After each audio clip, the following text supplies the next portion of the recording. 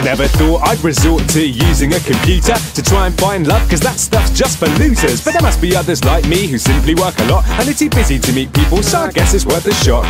Okay, let's pick a username. Something amusing that conveys my sense of humour and is guaranteed to woo the babes. Hmm, everything I choose is lame. I use my first name and birthday, I bet no one else will do the same.